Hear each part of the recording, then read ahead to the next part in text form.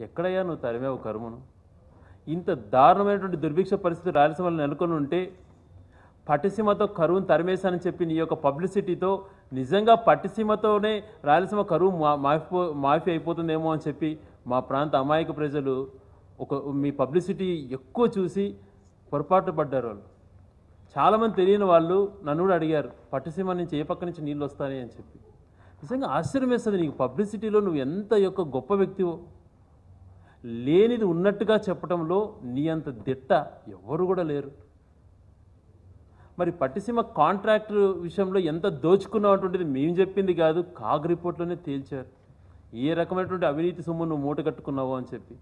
పోనీ ఆ పట్టిసీమతో కనీసం కృష్ణా డెల్టాను స్టెబిలైజ్ చేసావా అంటే అది లేదు. నువ్వు పట్టిసీమ ద్వారా నేను మొత్తం ఎంత స్టెబిలైజ్ చేసేసాను రాయలసీమలో కరువును తారమేనని అన్న మాట మాట్లాడతావు. మరి నిజంగా రాయలసీమలో ఎలా కరువు తరం లేదన్నది అందరికీ తెలిసినటువంటి అంశమే. అది అది పక్కన పెడితే రెండో అంశం. కనీసం కృష్ణా డెల్టాను నువ్వు స్టెబిలైజ్ చేసావంటే అది లేదు. నువ్వు ఒక్క ప్రాజెక్ట్ నన్న నీ హాయంలో టేకప్ చేసి ఈ ప్రాజెక్ట్ మొత్తం చంద్రబాబు నాయుడు గారు డిజైన్ చేసి ఇదే నేను చేస్తున్నాడు ఒక్క ప్రాజెక్ట్ను చెప్పుకోగలుగుతావా? పదహైదు సంవత్సరాలు ముఖ్యమంత్రిగా ఉన్నావు నువ్వు. ఈ గోదావరి నదుల అనుసంధానం పేరుతో పెన్నా పేరు వాడుకొని దోచుకుంటావు. రెండు వేల పద్నాలుగులో చంద్రబాబు గారు ముఖ్యమంత్రి ప్రమాణ స్వీకారం చేసిన తర్వాత అసెంబ్లీ సాక్షిగా ఒక వైట్ పేపర్ రిలీజ్ చేశారు. ఆ వైట్ పేపర్లో తను ఏమన్నాడంటే ఒక పోలవరం ఉ- ఉత్తరాంధ్ర సురేశ్రావంతి రెండు ప్రాజెక్ట్స్ తప్పితే మిగిలిన అన్ని ప్రాజెక్ట్స్ని పదిహేడు వేల కోట్లతో పూర్తి చేస్తాము అని చెప్పి చంద్రబాబు గారు చెప్పారు. దేవినేని ఉమా గారి ద్వారా చెప్పించారు ఆయన ఇరిగేషన్ మంత్రి ద్వారా.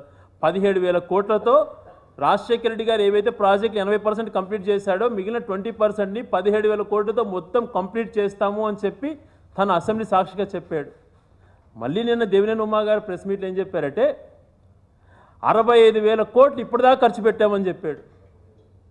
ఒక సీఎం రమేష్ గారు ఒక సుజనా చౌదరి గారు ఒక రా రాయపాటి సాంబశివరావు గారు ఇటువంటి వీళ్ళే వీళ్ళు కాంట్రాక్టర్లు. వీళ్ళ దగ్గర దాదాపుగా ఇరిగేషన్కి సంబంధించిన యాభై వేల కోట్లు మొత్తం పైన ఆంధ్ర రాష్ట్రానికి సంబంధించిన రెండు లక్షల కోట్ల దోపిడీ చేసుకొని ఈ నాలుగున్నర సంవత్సరాలు వీళ్ళు చేసినటువంటి ప్రగతి ఇది.